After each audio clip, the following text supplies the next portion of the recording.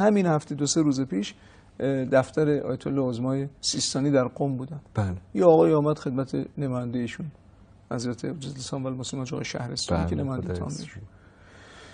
گفت آقا من 700 میلیون اومدم خمسمو بدم. ولی میگن آخونده می‌خورن. همین تر همینجوری همینجوری میگن شما می... من اعتماد دارم. شیطان وسوسه کرده دیگه. وسوسه هم کرده. حالا اینجوری هم نیست واقعا دیگه. نیست. حالا این که حالا آره.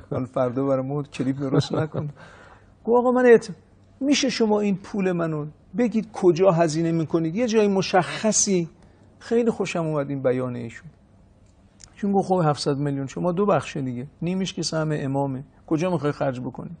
گفت بیمارستانی چیزی. گفت چرا اتفاقا؟ ایشون گفتن چرا؟ ما در همین قم بیمارستان قلب بسیار مهم داریم می‌زنیم بسیار مت... که تمام استانهای اطراف رو هم شهرهای اطراف رو هم پوشش بده.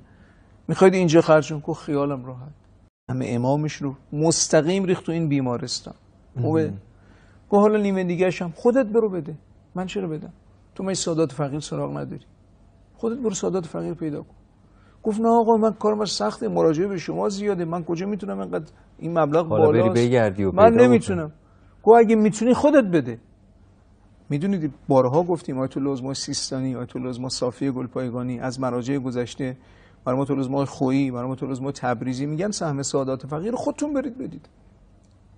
سهم امام شما آقا به دلت نمیشست ببر به مرجع تقویم بگو آقا کجا می‌خوای هزینه کنی؟ من من خودم که مستقیم هزینه. معلوم بشه که معلوم بشه مشکل ما وسوسه فکریه یا نه. از مال نمی‌تونیم بگذریم. این دل کندن دل سخت کندن. سخته. بقیه مراجع هم همینطور. آدم بره بگه آقا اجازه بدید مثلا سهم امام میشه چه مقدارش من هست یه ترتیبی دارن یه شکلی دارن.